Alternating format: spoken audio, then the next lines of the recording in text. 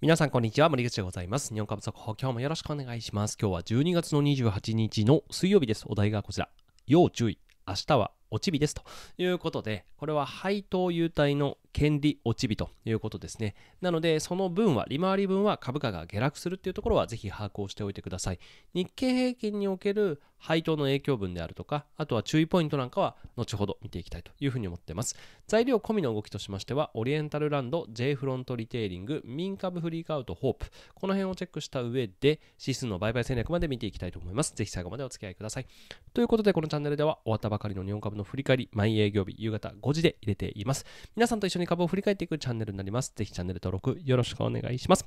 では早速今日の振り返りからいきましょう。日本株ですけども3指数揃って下落となりました。日経金株価トピックスは比較的ちっちゃめですが、まずは1.23%、昨日2%上げて今日は1%以上下げるっていうね、なんだかちょっと切ないなという感じですが、まあ、今日で年内の受け渡しの最終売買日、だから明日権利落ち日なんですけども、まあ、明日から2営業日、年内の取引としては残ってますからね、まあ、それがどういうふうに動くのか、日経平均もトピックスもマザーズも非常に注目かなというふうに思います。今日も日経平均の値上がり値下がりはかなり拮抗していますね。で、業種別見ますと保険がやっぱり高いということですね。また銀行で高値取ってきてる銘柄なんかもありますから、まあ、こういった株の物色、電気とかもそうですけども、なんか以前の流れが来たなという感じがします。一方で、インバウンド関連は少し落ち着いたかなって感じがしまして、空運業なんかもね、なんか岸田首相がまた中国から入国する人をどうこうみたいな話があったらしいので、その辺がちょっと慎重姿勢につながったかなといった感じでございます。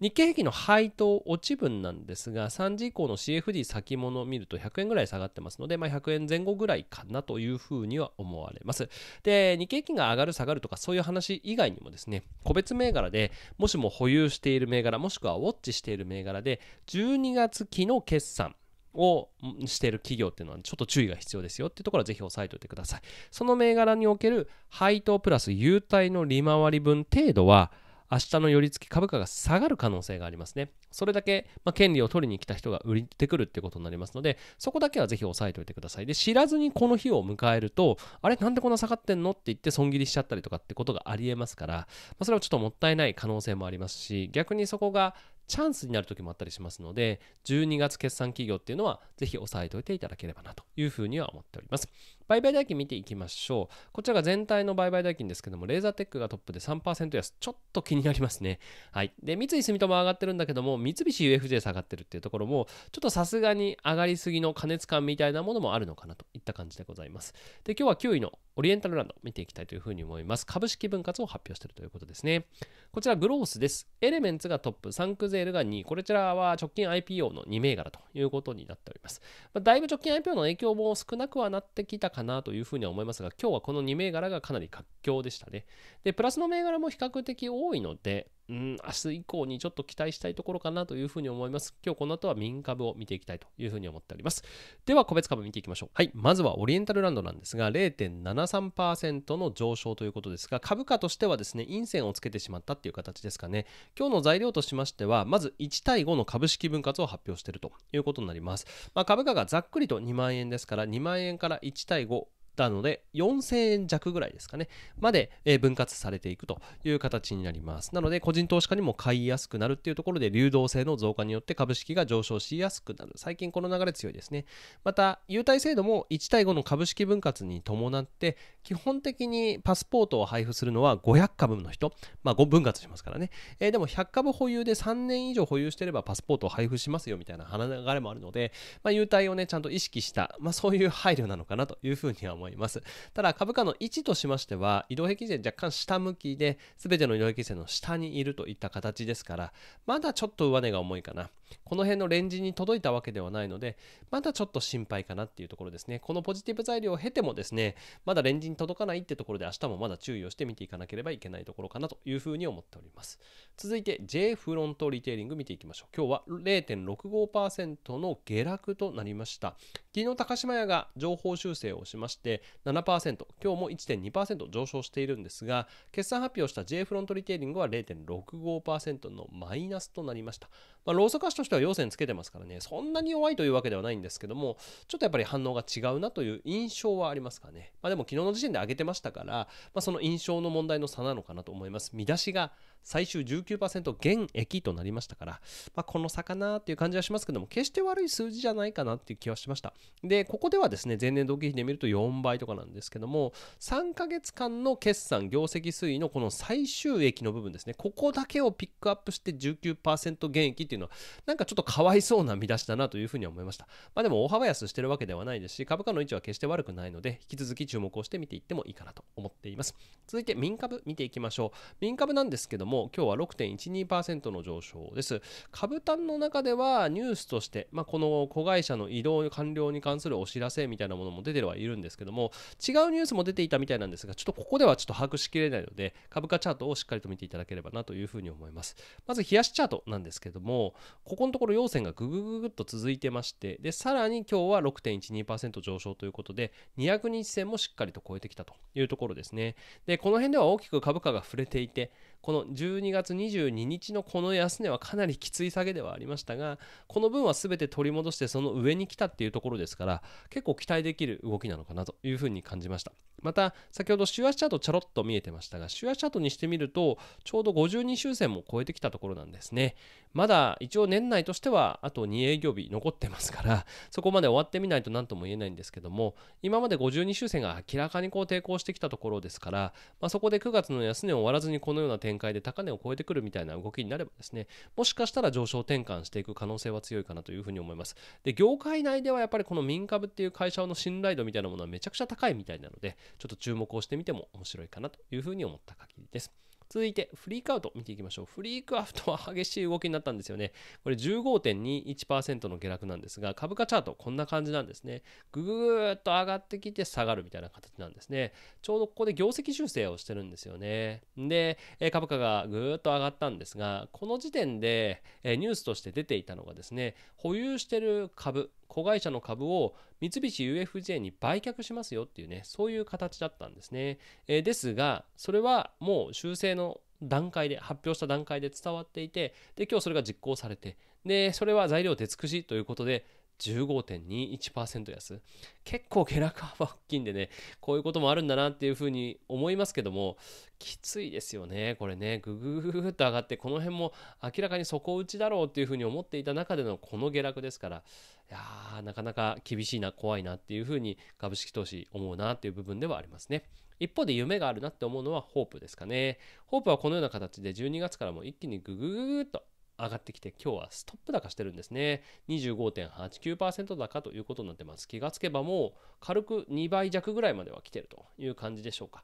どんな材料があったかと言いますと、今回は新株予約権の大量行使ですね。ちょっと分かりにくいですけども、以前発表していた新株予約権のうち、もう8800個権利が行使されたというふうに発表しており、まあ、これで将来の株式価値の希薄化懸念が後退したっていうところが今日のプラス要因というふうに言われております。また23日に三菱商事とね、協業しますよ。また、チェンジとは資本業務提携しますよ。これも引き続きの買い材料視されていて、まあ、買い材料が重なったことによりストップ高しているということです。で、チェン、えホープという会社はですね、もともと電力事業で大きな赤字を出してしまってそこを撤退して債務超過になってしまってもう本当に株価が債務超過でこう大底にいるようなそういう状態だったんですよねでそこからま財務懸念が今後第三者割当増資によって資本業務提携によってだいぶ解消されたっていうのがまず株価の上昇要因として一つあるのかもしれません。そしてそれに加えてですねこういった懸念が後退するみたいなことが重なると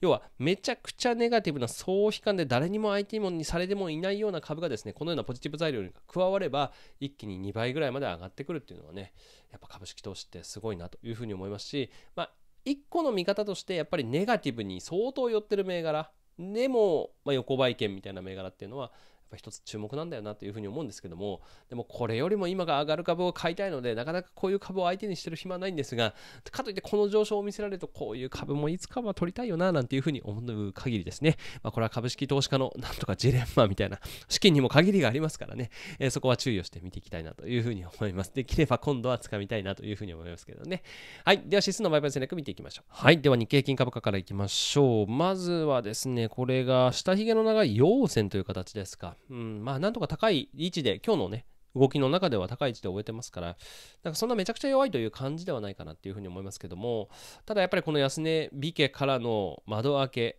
で、陽線、うん、あんま強くないなって感じですかね。mac にも下向きが続いている形ですかね。ちょっと幅は縮まってるのでね、このヒストグラムが濃い赤からちょっと白色っぽくなってはきているんですけども、まだ上向きとかになってないので、明日の動きもう一回見てみたいですね。トピックス見ていきましょう。トピックスに関しましては、これ雲ギリギリキープはできたんですね。で、MacD もほぼ横向きぐらいですかね。黄色い線です。ほぼ横向き、なので、まあ、そこは明日に期待したいところかなと思いますが、ただ雲がですね、明日はぐっと上がるんですね。えー、なので、えと、1919ポイントまで、明日10ポイントぐらい上げないと、1%以上上げてこないと、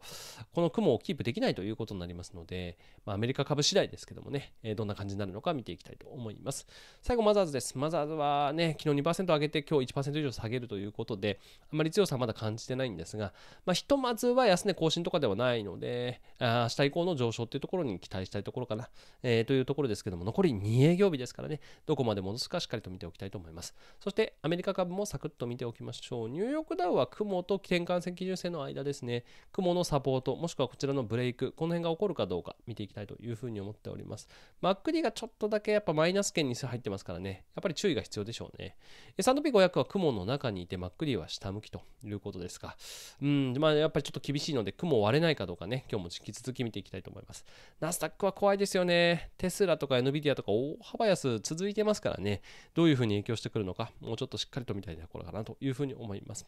ラッセルです。ラッセルもですね、雲の下で結局推移してる感じがしますね。年内せめて雲になるべく近づいて、できれば雲の下限ぐらいは超えて終わってほしいなというふうに思いますが、どうでしょう？あと2営業日しっかりと見ていきましょう。はい、ということで、明日は落ち日ですという内容からですね、まあ、配当影響分は100円前後で入月、12月決算企業はね、ちょっと注意をしてみておきましょうということですね。明日下落して始まる銘柄も12月決算企業に関しましてはあると思います。配当優待利回りはね、改めて気になる企業や持ってる株に関しましては計算しておいて、で、そこで買うのか売るのかっていうのをね、え実際に戦略立てていただければなというふうに思いますので、よろしくお願いします。では今日もお知らせを入れさせてください。個別銘柄をとことん分析するマガジン、ちょっと更新してないですね。K はという銘柄が最新記事になってますが、K はは非常に好業績で、ちなみに12月決算企業なんですけども、で、明日もしかしたら買いたいなーなんていうふうに思ったりはしてるんですが、そんなこと言ってるとね、明日気配が上がって始まりそうなんで怖いんですけども、まあ、その銘柄をですね、分析しまして、好業績低 PR なんですが、なぜそうなんだっていうところを分析しておりますので、もしよろしければ月額1000円、初月は無料になってます。チェックしてみてください。また同じプラットフォーム内ノートでですね、メンバーシップをやっております。えー、こちらは月額1000円ではなく900円になってますので、もしよろしければね、どちらかを登録していただければ大丈夫ですからね、よろしくお願いします。ということで、今日はこんな感じで終わってきます。今日の中でも何か参考になりましたら、グッドマークボタンをまた明日以降も5時目標で更新していきます。明日も聞いていただける方はぜひチャンネル登録お待ちしております。ではまた明日、テクニカル分析でお会いしましょう。